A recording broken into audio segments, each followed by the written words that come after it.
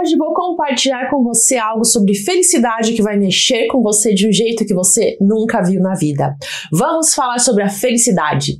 No Oriente, os monges tibetanos têm uma definição para a felicidade. E se explorarmos os pensamentos dos filósofos, Sócrates, Platão, Aristóteles, cada um tinha também a sua visão sobre o que é ser feliz. Aliás, se eu perguntasse a cada um de vocês que assiste a esse vídeo o que é felicidade, o que felicidade significa, eu aposto que teríamos as mais variadas respostas. Vamos fazer um teste. Quando você pensa em felicidade, o que vem à sua mente? Escreva nos comentários. Muita gente associa felicidade ao dinheiro, mas e quando a pessoa perde a saúde? Saúde é menos importante do que dinheiro? E o amor, a família? Imagine uma família que não tem grana nem para comprar o básico, mas o amor entre eles é gigante. Isso também é felicidade, não é? Eu cheguei a uma conclusão. Felicidade tem ingredientes, uma receita que eu vou compartilhar com você hoje. Eu sou Cintia Brunelli e hoje eu vou te passar os sete ingredientes da fórmula da felicidade. E eu te convido a se inscrever no canal porque tem muito conteúdo vindo por aí. Pegue um caderninho e anote os sete ingredientes que compõem a receita da felicidade. São sete ingredientes que, quando combinados, fazem um prato incrível de bem-estar e alegria. Vamos logo para o ingrediente número um Significado. Significado é quando você tem uma causa, algo maior do que você, algo que te faz acordar com um propósito. Sabe aquela coisa que você lutaria? Pode ser a sua família, sua fé, sua paixão por algo. Isso é significado. Dinheiro não vem apenas por ser bom no que nós fazemos, mas por realmente transformar a vida dos outros. A verdadeira recompensa está em tocar a vida das pessoas, em ser aquela luz que ilumina o caminho delas. Eu não estou falando apenas de dinheiro, mas de algo mais profundo. Imagine alguém que devolve a capacidade de andar para pessoas que estão presas em cadeiras de rodas, fazendo cirurgias complexas na coluna. Pensa comigo, alguém que passou 30 anos em uma cadeira de rodas e aí um cirurgião vai lá e com uma cirurgia de 12 horas coloca essa pessoa de pé novamente. Quanto você acha que vale algo assim? É algo que vai além do dinheiro, entende? É sobre devolver a esperança, é sobre dar uma nova chance, uma nova vida. Esse é o tipo de coisa que se coloca um valor monetário, mas que não tem realmente um preço. O que eu quero te dizer é que o que importa não é apenas o dinheiro em si, é o impacto que você causa na vida das pessoas, é a diferença que você faz. Aqui nós podemos falar também sobre o Ikigai. Ikigai é escolher o que você é apaixonado por fazer, que você você tem talento para fazer e que também vai fazer a diferença na vida dos outros. Você tenta encontrar o significado das coisas na sua vida. Você se engaja com algo, tem engajamento. O engajamento é o que tira a gente da cama, é o que faz o coração bater mais rápido. É quando você está tão envolvido, tão focado em algo, que o tempo voa. Você se sente tão imerso que nem percebe o que acontece ao redor. É como quando você está lendo um livro incrível ou assistindo uma série tão boa que você nem vê as horas passarem. Perceba aqui uma coisa: a tristeza e o desânimo estão naquela zona de engajamento muito baixo ou muito alto. Quando o desafio é pequeno demais e a sua habilidade é grande, você entra na zona da apatia. E quando o desafio é gigante e a sua habilidade não é tão grande assim, você entra na zona de estresse. Mas no meio, aí está o flow, o estado em que você se sente engajado, motivado, e isso tem tudo a ver com felicidade. O significado e o engajamento, eles têm um equilíbrio muito delicado. Se a sua causa é grandiosa, mas você não está tão envolvido nela, isso não vai te deixar feliz. E se você está super envolvido em algo, mas você não vê significado nisso, também não rola. É como montar um quebra-cabeça, precisa encaixar as peças perfeitamente. Imagine que você é um engenheiro do ITA e eu vou te passar um desafiozinho de matemática da quarta série da escola. Você precisa fazer continha de adição, subtração, multiplicação, divisão. Pode acreditar, você vai dar uma olhada naquilo e num primeiro momento você até pode dizer: nossa, isso aqui vai ser moleza. Só que quando a coisa é fácil demais, a gente acaba caindo na armadilha da apatia, da desmotivação. É como se a mente não visse nenhuma graça naquilo ali. Imagina também um adulto, lutador de judô, faixa preta, tendo que lutar contra um garotinho de 10 anos. O adulto não vai nem se esforçar Agora imagina essa situação da perspectiva desse garotinho. Imagina o garotinho lutando contra um adulto faixa preta em judô. Ou imagina esse garotinho pegando um teste de engenharia do ITA. Ele vai entrar numa zona de tensão, numa zona de estresse, quase no limite do pânico. Nessas horas é praticamente impossível ser feliz. Existe uma proporção entre desafio e habilidade, um balanço que precisa ser mantido. O desafio e a habilidade precisam estar em equilíbrio. Isso se chama curva do fluxo. E quando a gente entra nesse estado de fluxo, nessa curva, nesse flow, a gente fica totalmente imerso, focado, engajado. Sabe quando você tá lendo um livro que você adora, você nem consegue parar, você vira as páginas como se o mundo nem existisse. Isso é engajamento puro. E olha só, isso tem tudo a ver com a nossa felicidade. Se a gente tá fazendo alguma coisa que é desafiadora demais em relação à nossa habilidade, a gente acaba se entristecendo. E tem até nome para isso. É a zona de estresse. A gente entra numa zona de estresse, fica naquela tensão. Agora eu vou falar sobre o ingrediente número 2 da felicidade: ambiente.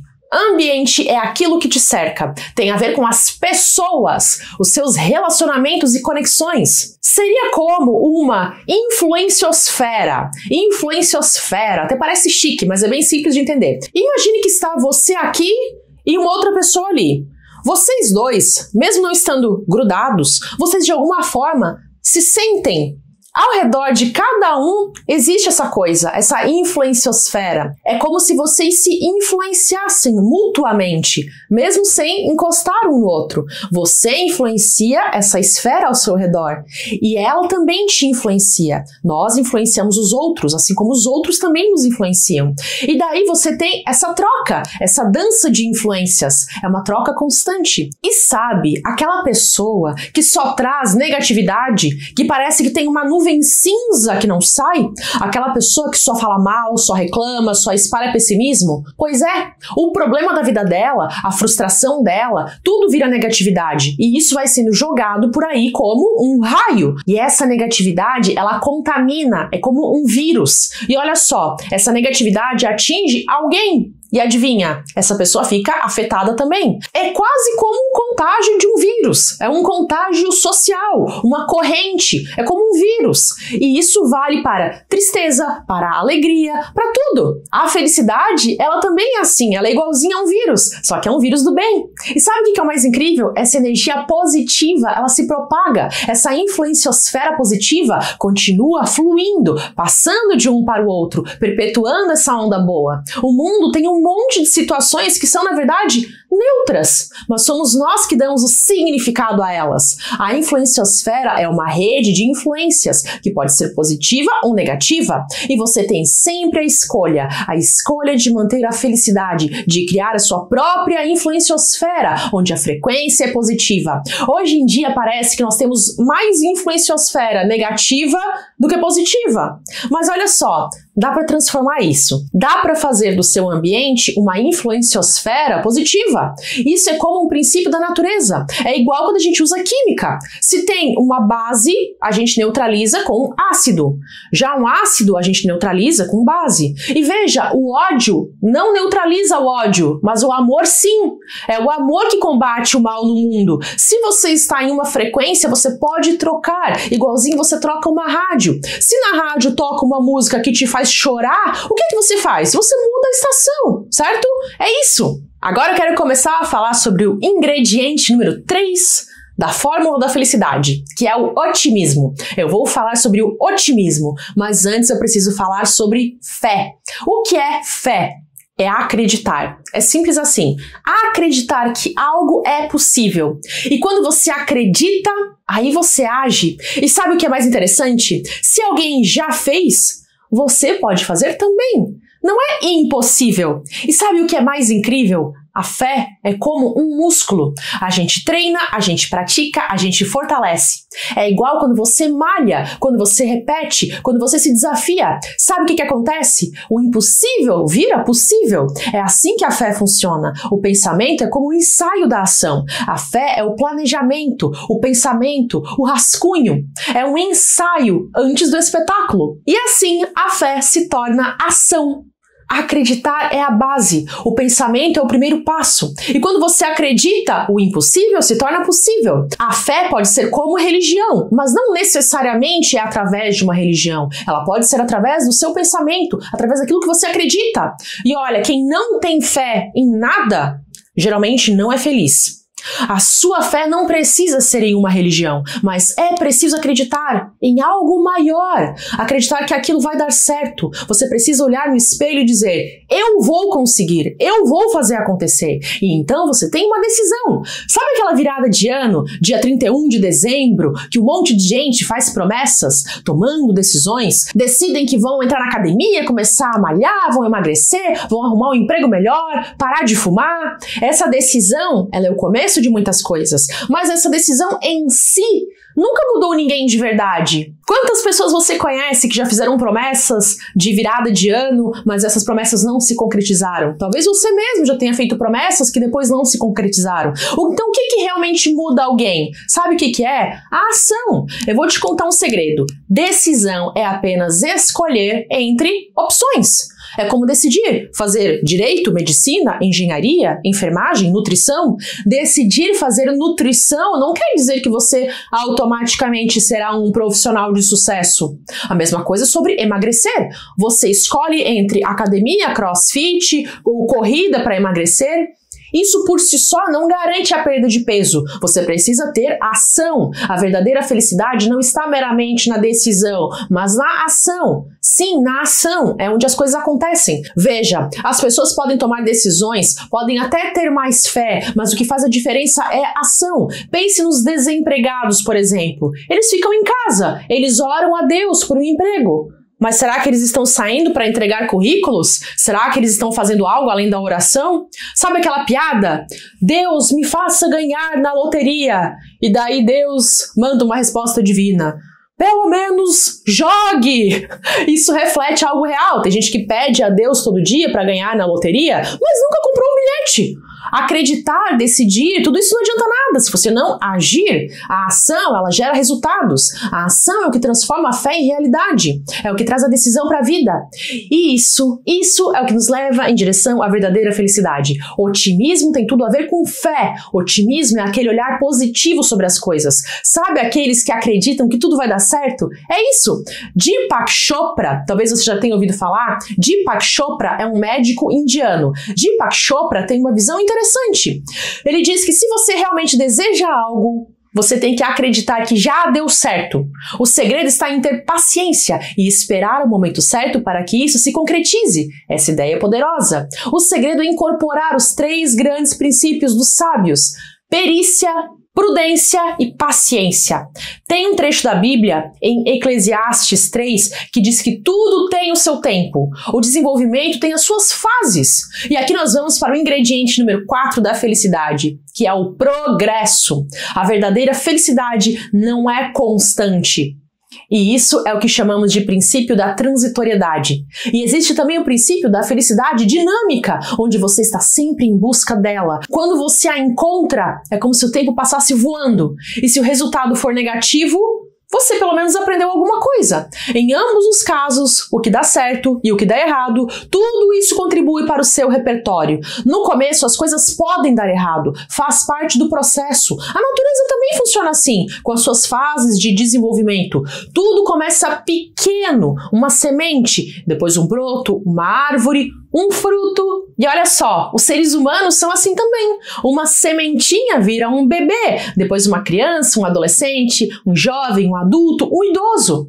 E olha os planetas, a natureza, tudo funciona nesse ciclo. E daí você pode pensar, eu vou fazer algo novo, só que pode dar errado. Só que esse é o processo. Na natureza nada é perfeito desde o início. A criança não nasce sabendo andar de bicicleta. Ela cai, ela erra, mas ela continua tentando. Tudo isso entra no campo do repertório. O que não deu certo hoje pode dar certo na quarta-feira que vem. Só que a maioria desiste antes disso. Eu mesma já pensei em desistir, inclusive desse canal do YouTube. Eu já pensei várias vezes em desistir no começo, quando eu achava que talvez não ia dar certo. Mas eu vou ensinar um segredo para não desistir. Você precisa enxergar o processo, por mais mínimo que ele seja. Vamos supor que você queira começar a fazer atividade física. Você precisa começar a fazer atividade física, nem que seja por 10 minutinhos por dia. Todo mundo tem 10 minutos por dia. Pode ser fazendo ginástica, dos vídeos do YouTube. Tem um monte de vídeo no YouTube de ginástica. Comece 10 minutos por dia. O foco é ser 1% melhor a cada dia. Comece pequeno. Se você quer escalar o Everest semana que vem, calma lá. Não vai dar certo. Primeiro consiga subir a escadaria do seu prédio. Já vai ser um passo, um passo de cada vez. Regrinha básica da vida. Anote isso. Comece pequeno, pensando grande. E aí cresça rápido. Ação gera resultado, independente de ser positivo ou negativo. E com repertório você é capaz de encontrar soluções para problemas e respostas para perguntas. Se eu gero um resultado, positivo ou negativo, eu tenho um repertório. Se eu tenho um repertório, eu tenho solução para problemas e respostas para perguntas. Isso traz felicidade, não é verdade? Sim, traz. E se você é detentor de repertório, você tem felicidade. Agora, se você está diante de um problema onde você não sabe como reagir e você não tem repertório, você fica perdido. Você não sabe resolver nada. Você fica desesperado, entendeu? O repertório traz felicidade. Fazer o que deve ser feito também. Ser disciplinado. Nas Olimpíadas, quem você acha que está competindo? Alguém indisciplinado? Não, é claro que não. Os atletas que ganham medalhas são todos muito disciplinados, mas em um nível elevado de competição, a disciplina já não é mais um diferencial competitivo, porque no alto nível todos são disciplinados. No alto nível, força de vontade, determinação, suor, isso já não é mais um diferencial, porque todos eles já têm isso. Então, quando você já está no alto nível, o que é que você pode fazer para levar a resultados maiores? A resposta está no método. O método é aquele segredo do como fazer. Sabe quando você pega aquele garoto que não faz ideia de como estudar? Ou aquele empresário que não tem a menor noção de como gerir a sua própria empresa? Pois é, quando ele aprende um método que funciona, ele fica super feliz, mais feliz do que nunca, porque agora ele sabe que ele está no caminho certo. Ele olha no espelho e ele se enche de orgulho, sabe por quê? Porque quando você aprende o método certo, como fazer as coisas da maneira certa, você cria o maior motivador que existe para o ser humano. E acredite, isso é cientificamente comprovado. O maior motivador do ser humano é o progresso. São aquelas pequenas percepções de progresso, aqueles pequenos avanços que nos impulsionam para frente. Isso é o que nos motiva mais do que qualquer outra coisa. Você vai ver as mudanças acontecendo, mesmo que aos pouquinhos. Isso é mais viciante do que qualquer droga. A evolução, a busca constante pela melhoria, isso sim é o que nos faz crescer o tempo inteiro. Agora eu vou falar sobre o ingrediente número 5 da felicidade, que é a resiliência. O que é a resiliência? Pense comigo, um material frágil, quando a gente dá uma pancada, ele quebra. Um material resistente não se deforma com a pancada. Agora, um material resiliente é tipo uma mola. Você dá um impacto, ele se deforma e depois ele volta ao estado original. E é assim que a gente tem que ser na vida. Terminou um casamento, por exemplo, você pode ficar mal por um tempo, mas logo você encontra uma pessoa nova e as coisas melhoram. Só que aí às vezes volta a ficar complicado e a vida segue assim, em ciclos. Tudo está sempre em movimento, nada é estático. Por isso, aquela busca constante por estabilidade ela é meio ilusória. A vida é dinâmica, é como uma empresa, tem altos e baixos. E quando a gente muda a nossa perspectiva, a gente percebe que o universo não é tão rígido quanto parece. Resiliência, isso é o que a gente precisa. Frágil, quebra. Resistente, aguenta o tranco. E resiliente, se deforma, mas depois volta ao normal. Quando você termina um namoro, você pode ficar na fossa, mas com o tempo você se torna mais forte, a vida nos coloca naquele poço, mas é dali que nós saímos com ainda mais sabedoria. E a gente tem que dar valor também aos momentos difíceis, não só aos felizes. É essa mistura que dá sentido à nossa jornada. Para ter consistência, é importante lembrar que para chegar lá, a gente precisa de progresso. E para ter progresso é preciso ter método. Mas lembra também da parte do engajamento? É isso que vai te manter firme na busca pela felicidade. Resiliência é a chave aqui. É saber levar os golpes e continuar de pé. Não é evitar os problemas, é entender que a vida é cheia de desafios. E aí talvez você pode pensar: "Não, eu prefiro desistir". Bom, a vida é sua, mas lembre que as suas ações têm impacto. Se você desiste, isso pode afetar sua família, sua casa, seu trabalho e até o mundo. É importante escolher continuar, mesmo quando a dor bate. Pode parecer que está dando tudo errado antes de dar certo. A transitoriedade da vida é assim. Tudo pode parecer pior antes de melhorar. E nessa jornada é crucial ter resiliência. Algumas pessoas não vão acreditar no processo da melhoria e pode ser difícil, mas lembrar do tamanho do prazer lá na frente é o que te mantém firme, mesmo com a dor no caminho. É assim que a gente continua seguindo, crescendo e persistindo. Por exemplo, imagine uma garota que está fazendo cursinho pré-vestibular há cinco anos anos, porque ela quer passar para medicina e ela quer desistir. Mas imagine que as notas dela nos simulados estejam ótimas. Nesses cinco anos, ela conseguiu progressos ano após ano. Ela já investiu cinco anos nisso e as notas do simulado estão ótimas. Então ela tem grandes chances de, nesse ano, passar. Se ela passar, Aí ela vai para a faculdade e depois ela vai ainda ter 30 ou 40 anos trabalhando como médica. Aqueles 5 anos de cursinho pré-vestibular vão parecer pouca coisa perto da satisfação de ser médica durante 30 ou 40 anos. Agora eu vou falar sobre o ingrediente número 6 da felicidade, que é saúde. Esse aqui é mais batido, você já deve ter ouvido falar sobre isso, mas é muito verdade. Se a saúde não está bem, não dá para ser feliz. Você tem que colocar a atividade física em primeiro lugar. Faça um pouquinho todo dia, uns 10 minutinhos de exercício já vão fazer diferença. Todo mundo tem 10 minutos por dia. Comece pequeno, mas pense grande. A atividade física é algo poderoso. Ela gera aquelas substâncias que nos fazem sentir bem. A atividade física produz serotonina. Quem é sedentário não produz tanta serotonina. Se você é sedentário, você precisa entender que você não está produzindo o que o seu corpo precisa. A gente está falando de serotonina, essa substância produzida principalmente no intestino e está ligada ao nosso bem-estar, ao nosso humor a nossa disposição, a nossa felicidade. Ela nos faz sentir bem. Platão falou isso. Os gregos eram sábios. Eles diziam que corpo e mente estão conectados. Então, cuidar do corpo é fundamental para a mente. E muita gente pensa que felicidade é comer tudo errado, é comer doce, lanche, fritura, mas grande parte da serotonina é produzida no intestino. Em 16 semanas, fazendo atividade física três vezes por semana, você consegue um efeito mais forte do que tomando tomando um antidepressivo tarja preta. Mas claro, isso não quer dizer que você não deva tomar o remédio que o seu médico receitou. Se você tem ansiedade e depressão e o médico prescreveu o remédio, então tome mas faça também atividade física. Faça o que o médico orientou, tome os remédios, mas faça ao mesmo tempo a atividade física. A atividade física faz a limpeza de radicais livres e reduz o cortisol. Cuidar do corpo vai te deixar mais feliz. Outra coisa que todo mundo deveria fazer é aprender a respirar. Sabia que a maioria respira errado? Você precisa respirar devagar e profundo. A ideia é respirar devagar para equilibrar a concentração de CO2 e o seu pH. Quando você respira rápido demais e de forma muito superficial, você fica ansioso. E quando você respira devagar e profundamente,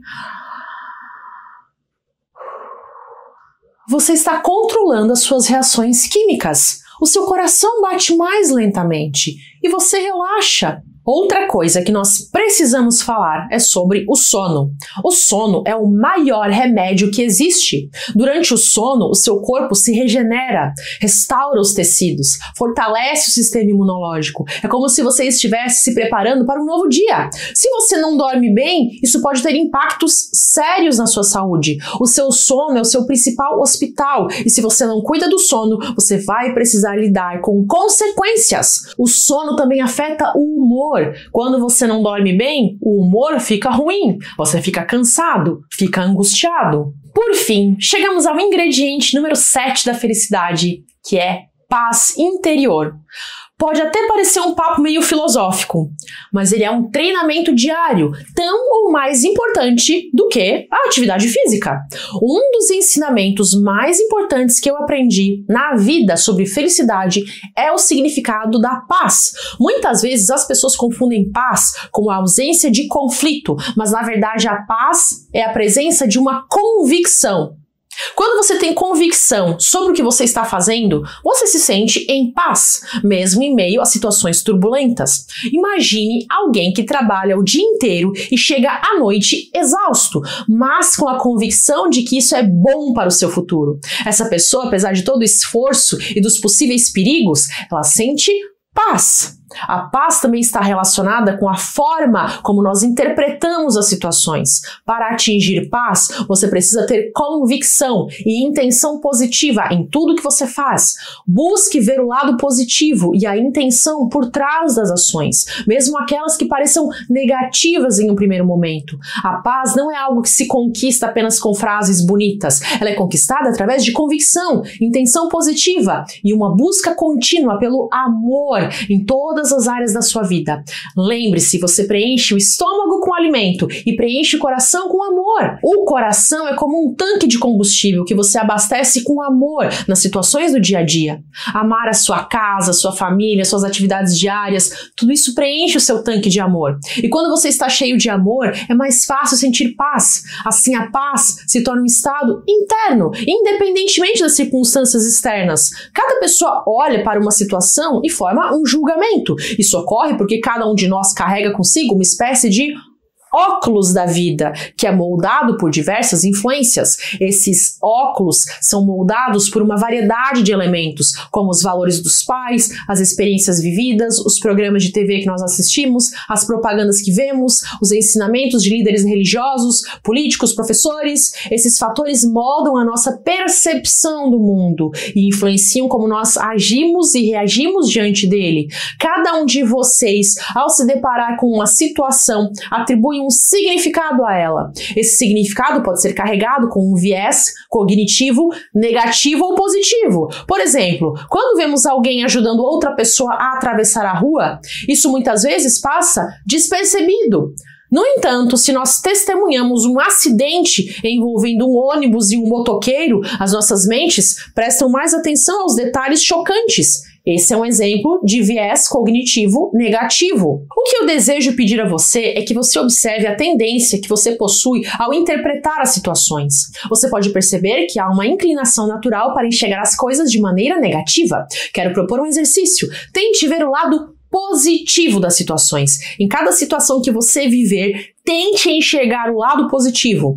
Vou deixar aqui uma indicação de livro, que é um dos meus livros preferidos, que é o livro Poliana, em que ela ensina a jogar o jogo do contente. Leia o livro Poliana de coração aberto, de mente aberta, porque vale muito a pena. Se você chegou até aqui, escreve nos comentários a frase: Eu decido ser feliz. Eu decido ser feliz.